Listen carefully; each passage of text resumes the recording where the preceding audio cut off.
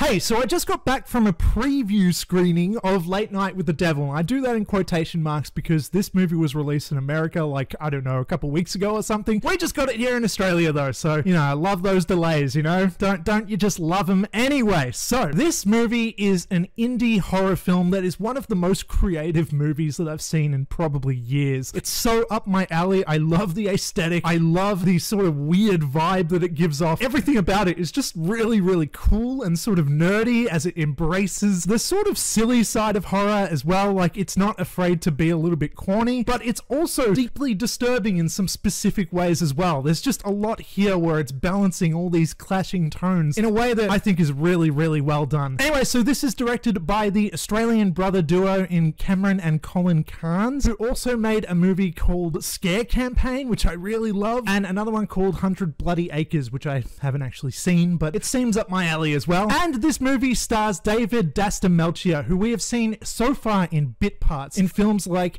Prisoners and The Dark Knight, and also The Suicide Squad. Not Suicide Squad, The Suicide Squad. Big difference there. Anyway, so usually though, we see this actor play either quirky characters or more often than not, like creepy characters. And here he kind of mixes the two, where we see moments of him being deeply disturbed, but he also adds a bit of charm here with this character, where we really do get some insight into seeing him be like this affable guy who we like. But it's just on the line, it's just on the edge where we can see that something's going on with him. He's a little bit suspicious, partly due to being told some of his backstory that sounds a little bit weird early on in the film, but also in his performance, we can see that he's a guy who is conflicted when it comes to being the smiley host of this TV show that we're watching, but also really being a bit of a selfish guy who only cares about the ratings. So we get sort of an inkling that maybe everything that's going on within the film could just be a hoax to maybe up the TV ratings. It's definitely a question that we wrestle with during the entire film, but we're also deeply disturbed and worried about all of the possible supernatural things going on as well. There's a great balance there where you're not quite sure what to trust and what's going on, and it really sort of stays on that line for the entirety of the film. I think it does a fantastic job of it. Anyway, so I probably should say that this movie is set in real time as it tells the story of a late night talk show episode, basically. Supposedly, it's like this long lost taping of this show that was lost for many a year or whatever, and finally now we're watching this like haunted tape of this show that came out in the 70s. And with that, man, does this movie commit. It has the right look to it, it even has commercial breaks and all these sorts of things. It really commits to being this in real time TV episode, basically, where some creepy things, you know, start to happen. And I just think that that's a really cool and creative way to do it, and it doesn't hold back in terms of like cutting out of that reality. Apart from during the commercial breaks, where we finally do every so often get to see the behind the scenes just a little bit, just to give us the idea that maybe not everything is a hoax like we're thinking, you know, we're, we're actually seeing some of the characters freaking out behind the scenes. So we know that, you know,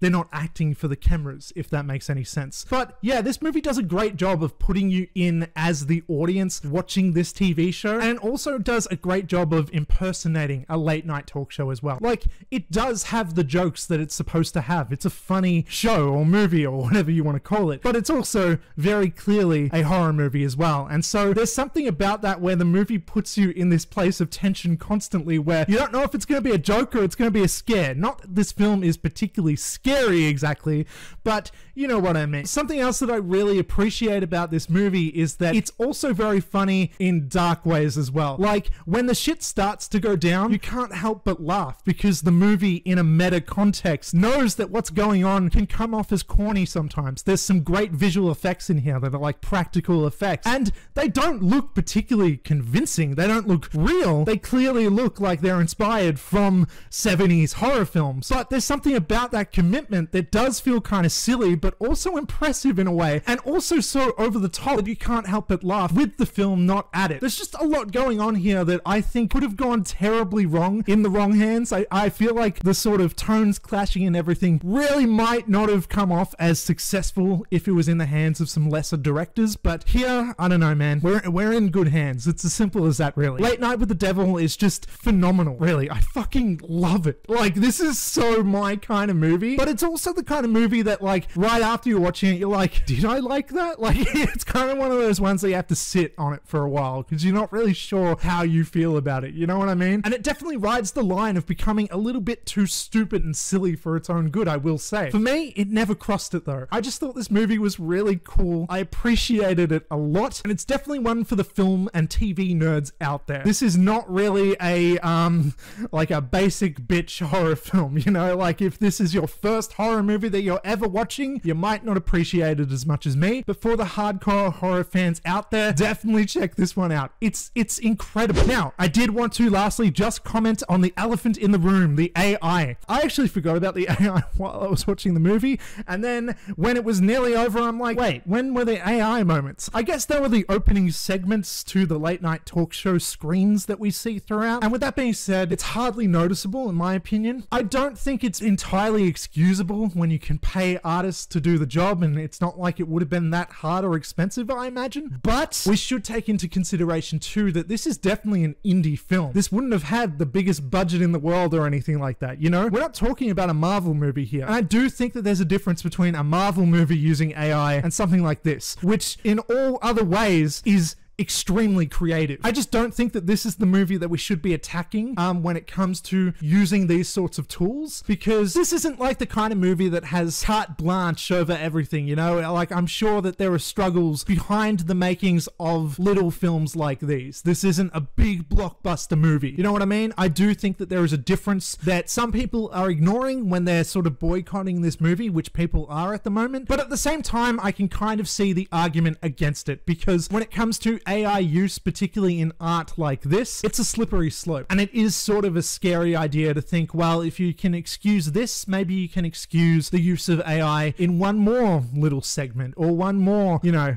little aspect here and there. And it could just build up over time from film to film until we're getting entirely fucking AI scenes or entirely AI movies, which honestly could be the death of art, which is kind of scary to think about. Maybe that's an exaggeration. I don't really know. It's a bit early to tell, but there is sort of a concern there, I will say. And I do think that it's interesting taking that critical approach when it comes to Late Night with the Devil. But I do think that we're sort of barking up the wrong tree when we're sort of criticizing this one so harshly, when I'm sure much more egregious uses of it is being used in higher budgeted films that we just don't really know about because we weren't told.